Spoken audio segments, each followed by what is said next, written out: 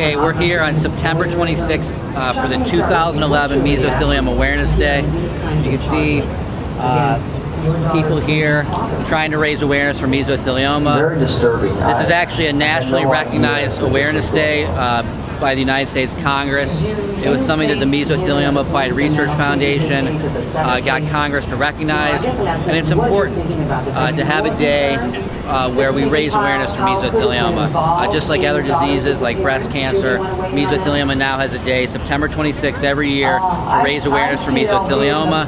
And coming down to, to the Today Show and gathering and getting on the air for a little bit has become a tradition uh, in a way to raise awareness for mesothelioma. We're here with Kathy Wiedemer, Executive Director of the Mesothelioma Applied Research Foundation. My name is Rich Mosca. My name is Heather Von St. James.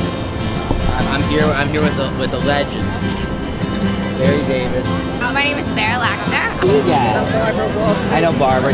Bonnie, we're here to raise awareness for mesothelioma. My name is Erica Yakino. Carol Batch. Carol. Patch. I'm Kevin. We're here to support the Meso Awareness Day. We're here for the cure. That's why we're here.